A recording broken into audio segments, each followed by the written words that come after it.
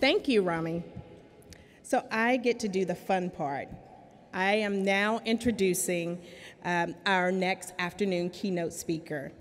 So it is my distinct honor to introduce a trailblazing actress, producer, director, and two time New York Times best-selling author of Is Everyone Hanging Out Without Me and Other Concerns? And Why Not Me? She is a woman of varied and boundless talent. Mindy Kaling.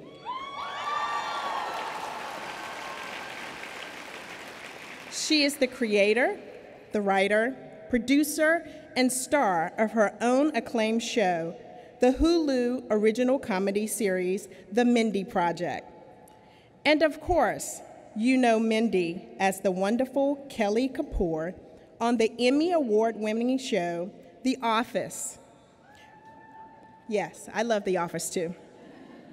Where she was also an Emmy nominated writer, as well as producer and director.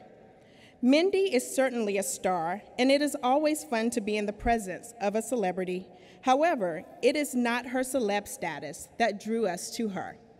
Mindy, although she won't agree, is a pioneer. She is a woman succeeding in an industry wrought with sexism. She is the first Asian American woman on broadcast TV to star in and run her own show.